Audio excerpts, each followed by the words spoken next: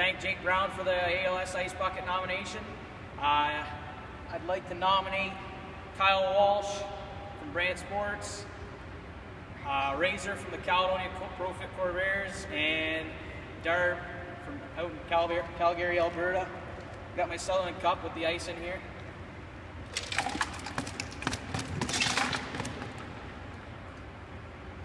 Here we go.